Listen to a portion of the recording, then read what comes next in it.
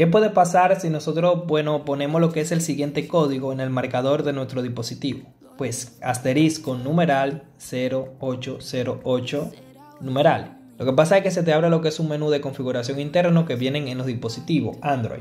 Por ejemplo, aquí lo que hace es que puedes configurar lo que es los puertos de conexión USB de cada dispositivo.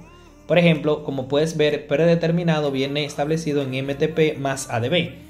Cuando se le requiere hacer lo que es un cambio de sistema operativo a un teléfono, ya sea que se le haya dañado lo que es el software o el sistema operativo de este, pues en algunas ocasiones estos puertos USB deben ser cambiados y ponerlo en otra opción, por ejemplo cambiarlo acá o cambiarlo acá. Todo depende del programa que vayan a utilizar y eh, la necesidad de esto. Así que ya lo sabes, este código es muy importante porque con él puedes cambiar la configuración de los puertos USB en tu teléfono móvil.